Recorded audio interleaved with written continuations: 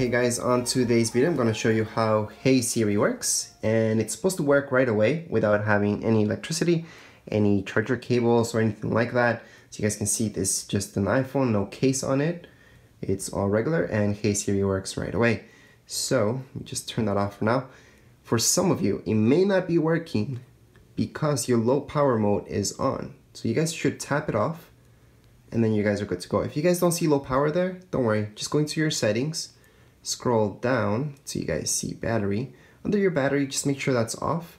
So that's your low power mode right there. Just make sure it's off. Right now it's off. So Hey Siri will not have any problems seeing what I'm saying, okay? So things that you guys can say to your Hey Siri in order for it to work. Well done. So it's always gonna activate every time I say it. So I'm gonna say, Hey Siri, where are you? That's what I use it mostly for.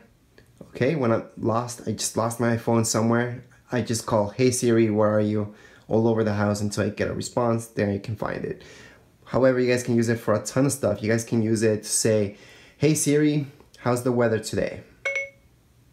It's currently raining and 2 degrees in Waterdown. Temperatures are heading up from 2 degrees this evening to 4 tonight. Okay, so you guys can do that as well. Again, you don't have to have it hooked up to any electricity for it to work right away because it will work as long as your power mode is off. Again, if you scroll up, here's here it is. I can turn it on and off. Also, make sure Siri is actually set up. So go into your settings and double check that it's set up and set it up again if it's still not working. So right here, it should be on. So you guys can see it says listen to Hey Siri. So right now I should say something. There we go. so every time I say that, it's obviously gonna respond. And you guys can also press your home button sure why not? But obviously nobody wants to do that anymore. Everybody just wants to say hey Siri and for this to just work out. Again I'm not pressing anything.